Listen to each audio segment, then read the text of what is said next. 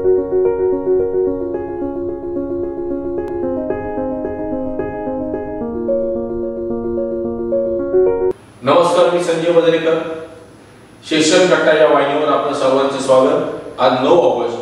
नऊ ऑगस्टला काही जागतिक स्तरावरच्या घटना आपण पहिल्या पाहणार आहोत. आजचा दिवस हा जागतिक मूलवासी दिन म्हणून जगभरात साजरा केला जातो. तसेच आजचा दिवस राष्ट्रीय महिला दिवस दक्षिण आफ्रिकेत साजरा केला जातो. आणि त्याचबरोबर सिंगापूरचा आजचा दिवस हा राष्ट्रीय दिन म्हणून साजरा केला जातो. त्यासोबतच अन्य घटना आपण पाहणार आहोत त्या अशा नऊ ऑगस्ट एकोणीसशे एक या दिवशी मराठी रंगभूमीचे जनक विष्णुदास भावे यांचं निधन. आजच्या दिवशी एकोणीसशे नऊ साली ज्ञानपीठ पुरस्कार विजेते कन्नड साहित्यिक डॉक्टर विनायक कृष्ण गोका यांचा जन्म झाला. आजच्या दिवशी एकोणीसशे एकोणीस साली नेदरलँडचे पंतप्रधान जूक डे उईल यांचा जन्म झाला.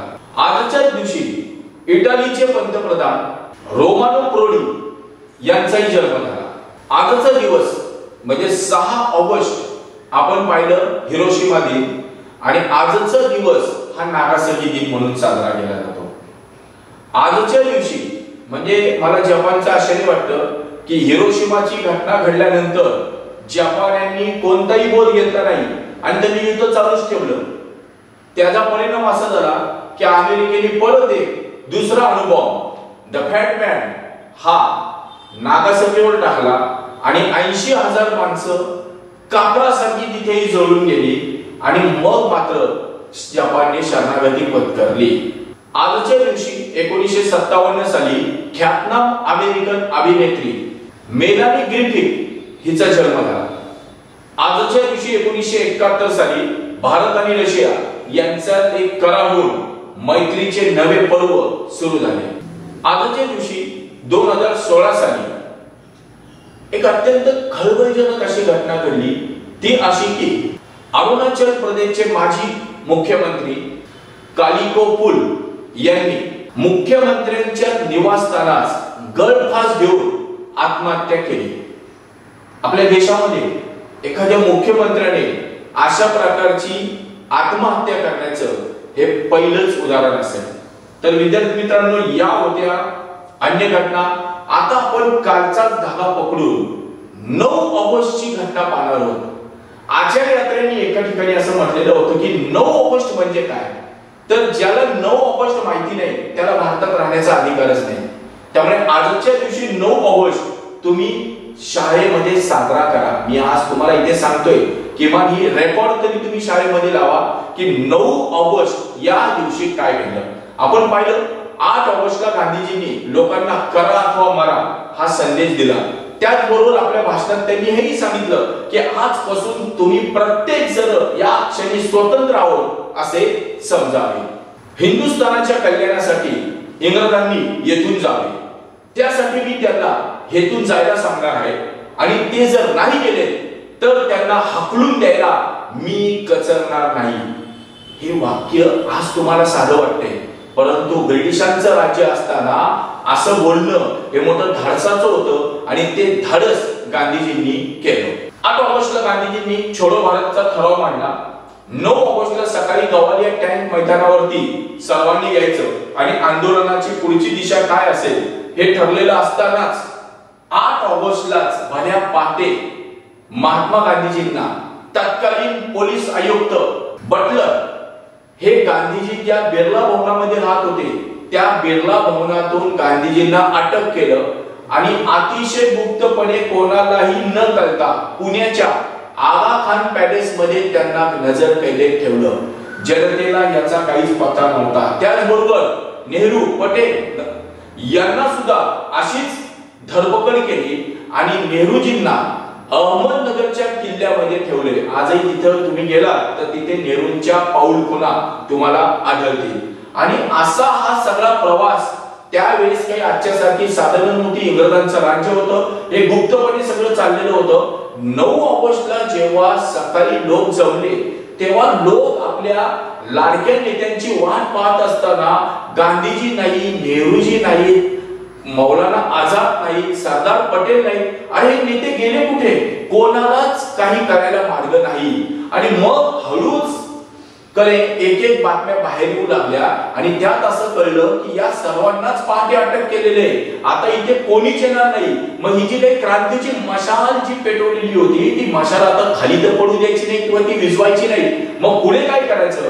हा सगळ्या तिथे उपस्थित असणाऱ्यांच्या मनामध्ये एक प्रश्न निर्माण झाला. गांधीजींना अटक झाल्यावर त्यांचा संदेश सांगण्यासाठी त्यांच्या पत्नी कस्तुरबा गांधी म्हणजे बा येणार होत्या. परंतु त्यांना सुद्धा इंग्रजांनी अटक केली. पंडित नेहरूंच्या हस्ते नऊ ऑगस्टला झेंडा वंदनाचा कार्यक्रम होणार होता. परंतु पंडितची अटक असल्यामुळे तिथे उपस्थित असणाऱ्यांपैकी एकाने पोलिसांनी तिरंगा ध्वज खाली ओढला. म्हणून तिरंग्याच्या रक्षणासाठी गेले असताना पोलिसांनी त्या सोळा सतरा वर्षाच्या तरुणाला बेदम मारलं आणि फायरिंगला सुरुवात केली. तिथल्या तिथे दोन चार स्वातंत्र्य सैनिक घरातीर्थ पडले आणि तिथेच तिथेच ऑगस्ट क्रांतीची तुतारी फुंकली. म्हणजे जसं फ्रेंच राज्य क्रांतीच्या वेळेस बॅस्टिलच्या तुरुंगावर हल्ला झाला आणि कोणालाही ध्यानीमनी नसताना तिथे राजाच्या विरोधात क्रांती झाली तशीच घटना मी म्हणेल आपल्याकडे झाली. क्रांतीला सुरुवात झाली मुख्य पुढारी तुरुंगात असताना. स्वातंत्र्य संग्रामातील दुसऱ्या पिढीचे पिढीचे शेरीदार व त्याच्यामध्ये जयप्रकाश नारायण राम मनोहर लोहिया अच्युतराव पटवर्धन अरुणा आसपाली यासारख्या दुसऱ्या पिढीतल्या नेत्यांच्या हाती सूत्र गेली. मग आपल्यालाही अटक होईल. म्हणून अशा प्रकारे न लढता गुप्तपणे भूमिगत होऊन इंग्रजांच्या विरोधात लढा द्यायचा असं ठरलं. आणि मग काय? लढ्याला सुरुवात झाली. ब्रिटिशांच्या विरोधात चले जावची चळवळ सुरू झाली. हा म्हणतात ती संपूर्ण भारतामध्ये पसरली गेली. आपणास मी दोन तीन दिवसापूर्वी सांगितलंच होतं की याच काळात नाना पाटील यांचं प्रति सरकार म्हणजे पत्री सरकार स्थापन झालं.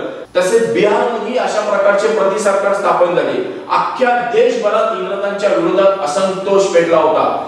लोकांना रोखण्यासाठी चक्क ब्रिटिश सरकारने विमानातून बसून मशीन गनचा वापर केला.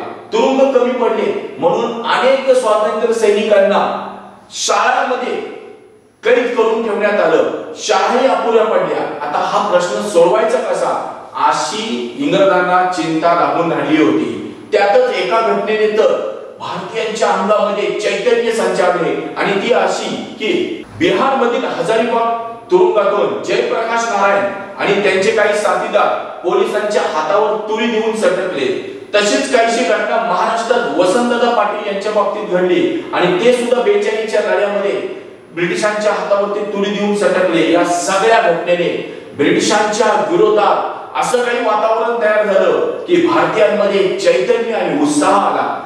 ज्या इंग्रजांच्या समोर मान वर करायची हिंमत नव्हती त्या इंग्रजांना भारतीय आता छाती टोकपणे सांगू लागला की तुम्ही या देशातून चालते व्हा. या सगळ्या घटनेचे गंभीर परिणाम इंग्रजांना भोगावे लागले.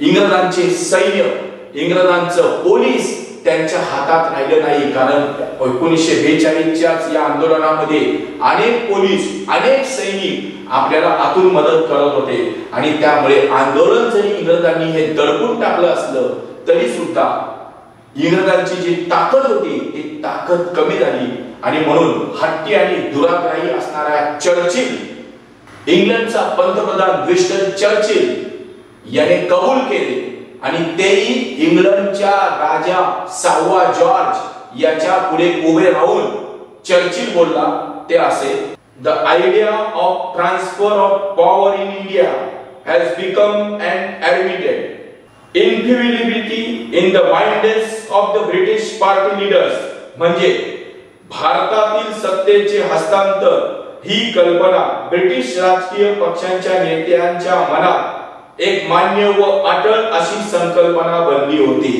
म्हणजे हा देश आज ना उद्या आपल्याला सोडून जायला लागेल हे त्याने मान्य केलं आणि याला कारण आठ आणि नऊ ऑगस्ट या दिवशी घडलेला आणि सुवर्ण अक्षराने लिहावा असा छोडो भारत आणि ऑगस्ट क्रांती दिनाचा इतिहास. जय हिंद. जय महाराष्ट्र जय हिंदुस्तान.